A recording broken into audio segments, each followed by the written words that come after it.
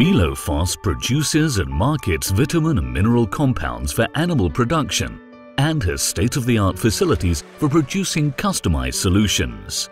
Our areas of expertise naturally include feeding, but also include management and hygiene, as this concerns both animal housing and the farm's outdoor areas.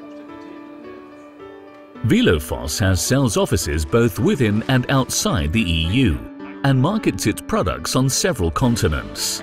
The vast majority are produced at our own factories and we also have licensed production in a number of countries. All our activities are based on the long-standing in-depth knowledge and experience held by the various companies in the group. The foundation for Vilofoss was laid more than 80 years ago and Vilofoss is now one of the four largest players in our field. We must strengthen this position.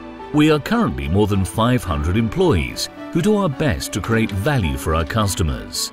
Our consultants are technically well versed and know how carefully balanced compound feed, knowledge of the correct nutritional content and the use of additives are essential for optimizing the individual farmer's production outcome.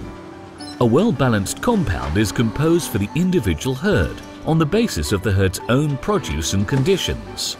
This customization optimizes the daily ration of vitamins and minerals. A number of special solutions and products are also available, such as Stalosan Hygiene Solutions, Excelit, Problem Solvers, Special Raw Materials, Milk Substitutes and Veterinary Products. Vilofoss core values are trustworthy, value-creating and ambitious.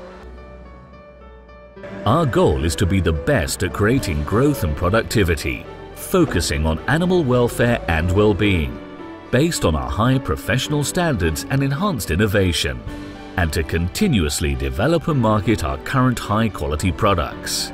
We are responsible for fulfilling our role in the food chain. Our development and production processes give high priority to quality management, traceability and continuity for our customers and partners you.